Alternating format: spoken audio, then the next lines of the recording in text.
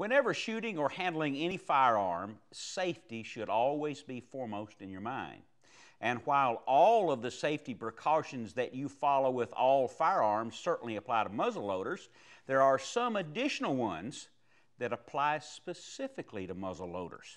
Most likely, the instruction manual that came with your muzzleloader has a section on safety. Right now, we're going to use CVA's manual as a guide to cover these safety issues. Chad, you can start us out with the rules that apply to all firearms. Look it up. It's called the Ten Commandments of Firearm Safety. I'd be happy to. First, always keep the gun muzzle pointed in a safe direction. Be sure of your target and what is beyond it. Never rely on a gun's mechanical safety. Your gun should remain unloaded until ready to use. Always wear hearing and eye protection. Make sure the barrel is clear of all obstructions before loading and shooting. Handle every gun as if it were loaded. Keep guns and ammo separate and in locked storage.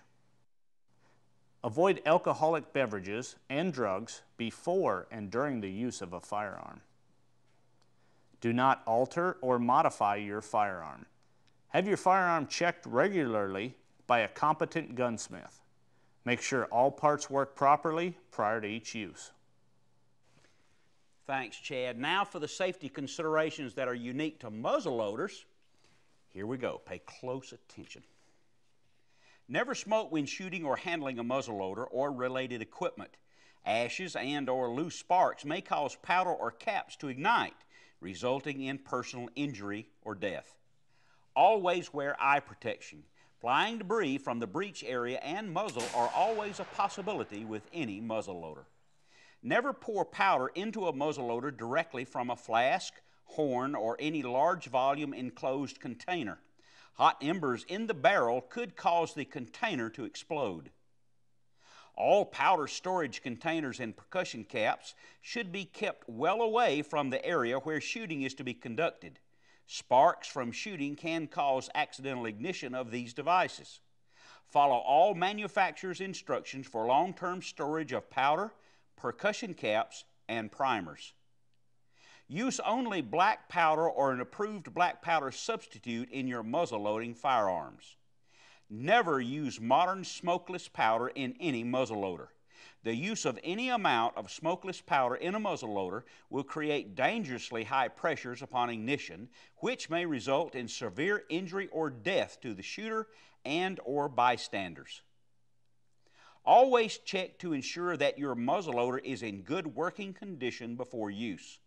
Test the hammer, trigger, and breeching lever carefully prior to loading. Check the barrel for any obstructions as any blockage may cause the gun to explode. Use only recommended loading data for the particular model of rifle in use. Different models have different powder charge and projectile capabilities. Improper loading or overloading of a muzzle-loading firearm may result in severe injury or death. Never prime or cap a firearm until you are ready to fire. Primer cap should always be removed when walking, climbing trees or fences, transferring the gun from one person to another, or leaving the gun unattended. Never lean or rest a loaded muzzleloader against a tree, wall, vehicle, or other surface. Any fall of the loaded gun may cause accidental discharge resulting in severe injury or death to bystanders.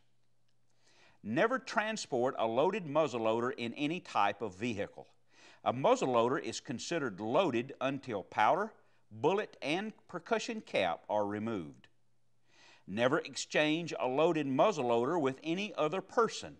Only the party who personally loaded or witnessed the loading of the muzzleloader should fire it. This practice will help prevent overloading or double loading, which may cause severe injury or death. Never store a loaded muzzleloader. Muzzleloaders should be unloaded and cleaned prior to any storage. Never load a muzzleloader without first making sure that it is unloaded.